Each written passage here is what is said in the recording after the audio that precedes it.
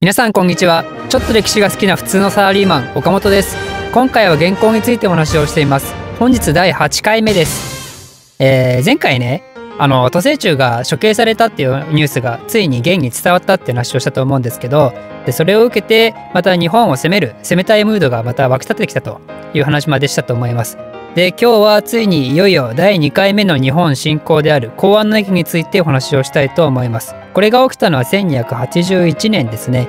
でこれねあの簡単な年号の覚え方があって広安の顔の艶いいなっていうね。あのあれですよ。この公安をね広安って呼んでねでそいつの顔の艶がいいと。だから公安の駅だと、まあ、そういうしょうもない覚え方があるんですよ。あのあれなんですよ。実はね私昔からあの世界史の年号の方のね頃に関連するツイートをこうつぶやきまくってるツイッターのアカウントあるんですけど、まあ、最近あの日本史バージョンも始めまして紹介欄のところにねツイッターのあのなんだあのアットマークのあれが書いてあるんでチェキラーしてくださいね。チェキラー。で今回の公安の駅ですけど前回と違ってマジですごいんですよ。マジで元軍力入ってるんですよね。あの元軍ね二手に分かれるんですよ。一つ東路軍って言ってあの東の道って書いた東路軍ね。でこれは大体あの元と高麗のこの連合軍なんですけどであとそれともう一つ江南軍っていうのがあってこれは旧南宋の人たちがメインの軍ね。この2つの軍があるんですよ。でその東路軍のメンバーはメンバーっていうかあの人数はだいたい4万から5万7千って言われててでそのうち軍船が900艘で江南軍の方はなんと10万。でしかもこいつら精鋭部隊なんですよね。でそれで軍船もね3500もあると。ということでトータルねなんと15万ですよ15万。15万プラス船が4400艘。もうね世界史上世界史史上最大規模ですよこれ。こんなのがねちっぽけな日本にやってくると。もう恐ろしいことなんですよ本当に。でまあこんなにね軍勢あるからやっぱね元もねこれもう超余裕で勝てると思ってるんですよ。超余裕で一瞬で終わると思ってるんですよね。まあ無理もないっすよね。本当にこんだけいたら。でこの東路軍と江南軍についてちょっと簡単に説明すると東路軍の方の司令官はヒンドゥーっていう人。でこれねあのー実は前回のクドゥンっていう人いたじゃないですか。なんか彼とこのヒンドゥーは実は同じ人なんじゃないかっていう。なぜか今名前入れましたけど同じ人なんじゃないか説があるんですよね。まあ真相は分かんないんですけど、まあ、ヒンドゥーっていう人が司令官だと。でね副将にあのいつものね紅茶球とあと金宝慶がいるんですよね。だからこいつらが東路軍の、まあ、リーダーたち。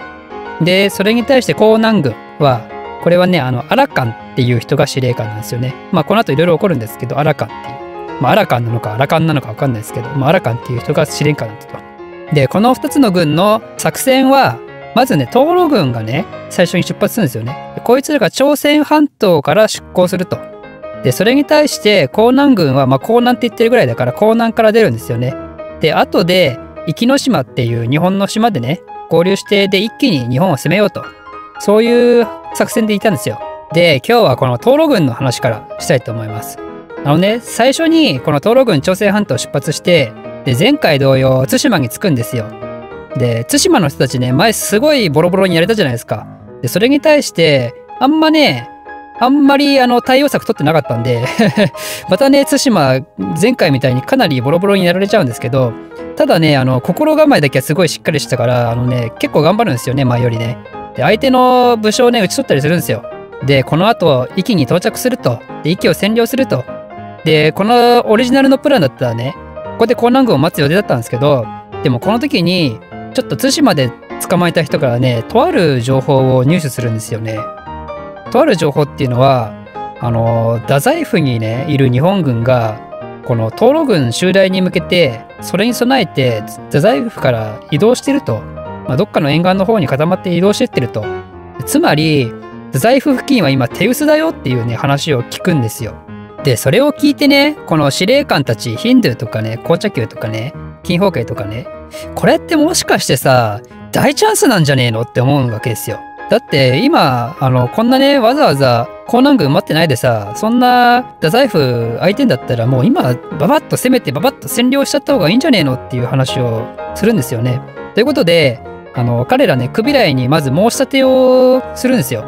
これ今までの作戦とちょっと変わるけどもう東路軍先に攻めちゃっていいっすかねっていう話をね、するわけですよ、このクビライに。で、それに対してクビライは、もう現場のことは現場の責任で臨機応変にして OK っていうことを言うんですよ。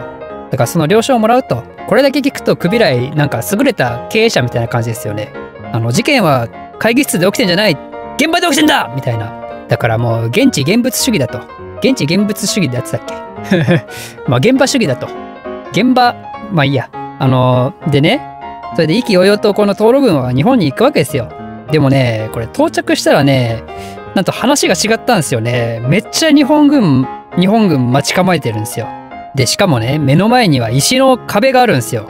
あの、前回お話ししたと思うんですけど、彼ら、あの、高麗攻めるか、どうしようかみたいな話をした時に、あの、石の防塁を作ってたって話をしたじゃないですか。だからね、その防塁ですよ。その石の壁を作ったと2メートルぐらい、3メートルぐらい、忘れちゃったけど。で、その壁の上に、あの大量のね、日本軍が待ち構えてるんですよ。で、上からね、上陸しようとしてくるこの元軍たちに対してね、あの、矢の雨を降らすわけですよ。まあもう言わなくてもしてる人はしてると思いますけど、矢ってね、やっぱめちゃくちゃ強いんですよね。こういう集団戦戦う時ってね。あの、ね、三国無双とかでも矢うざいでしょ。あの、矢使ってくる敵とかね、うわうわみたいな。だからね、そんなのが大量に降ってくるともう前に進めないわけですよね。あの、文英の駅の時ね、話するの忘れたんですけど、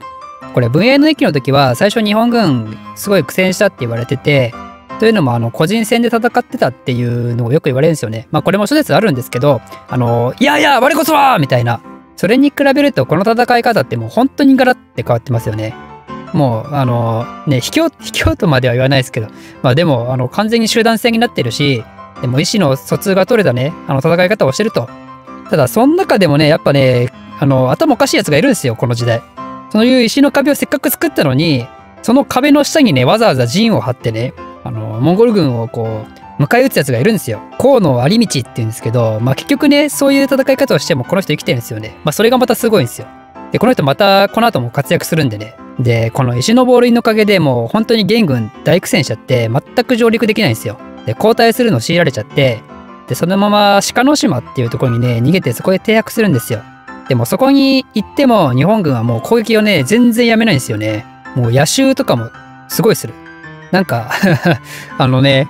あれですよね。一騎打ちで名乗りを上げて、そこで勝ったやつがすごい名誉みたいな、そういう戦い方をイメージしてたら全くもう本当に真逆の世界ですよね。もう夜にこの止まってる船にね、コソコソって忍び込んでね、あの、家畜の死骸とかね、投げるんですよ。すごい嫌がらせするんですよね。もう、お前らの お前らの、その、それが名誉の戦いか、死んだ馬を投げるのがお前らの名誉の戦いかっていう。まあでもね、あの、嫌いじゃないですよ、こういうの。で、日が明るくなってからもね、あの、日本軍が二手に分かれて挟み撃ちするんですよ。この島に泊まってる奴らを。日本軍もここでね、いよいよ総攻撃するんですよね。で、それを受けて、この元軍もね、本当に大慌てになっちゃって、あの紅茶球もね、もうあわや打ち取られる寸前まで行くんですよ。もう馬を捨てて走って逃げるぐらいマジでやばい状況だったらしいんですよね。で、この時にもね、あのー、さっき言った河野有道がね、大活躍するんですよ。もう弓倉って自分もすごい傷つくんですけど、うおーっつってね、相手の将兵殺すんですよね。で、結局、あのー、この東路軍はね、また交代せざるを得なくなったんですよ。で、皮肉にもね、また、あのー、当初のね、予定通り江南軍と合流する予定だった壱岐の島までね、退けられちゃうんですよね。ここでね、あの最初から江南軍待ってたらね、だいぶ状況変わったと思うんですけどね。もうこの対馬のこの情報を流したやつ、マジで、マジで神っすよね。日本からしたらね。で、この時ってね、あの7月だったんで夏なんですよね。暑いんですよね。で、暑くて湿気もムンムンで、もうね、不潔な衛生環境にいたんですよ、こいつら。そもそもあの死骸とかも投げられてるし、てか、あの、自分たちのね、兵の死体とかもいっぱいいるし、やっぱそんな状況にいるんで、疫病がね、蔓延しちゃうんですよ。ただでさえ日本にボロボロにやられてね、もう士気下がってんのに、そんな中でこんな病気なんか蔓延しちゃったらね、もう本当に泣きっ面に蜂状態ですよね。で、こいつらはね、この泣きっ面に蜂に刺されて腫れた顔にさらに蜂が来るみたいな状態なんですよね。それ何かというと、あの、待ってた江南軍ね、こいつらね、来ないんすよ、全然。あれ、おかしいなーってなるんですよね。なんか聞いてたスケジュールだともう来てるはずなんだけどなーっていう感じなんですけど、でも、江南軍ね、全然見えないんですよ、姿が。で、それでね、いよいよね、あの、ヒンドゥーと紅茶球がね、ちょっとマジでやばいからマジでやばいししかも表量ももうかなり少なくなってるしちょっと撤退した方がいいんじゃねえのっていうね話をするんですよ。でも紅茶球もねやっぱ死にかけたからねもう帰りたい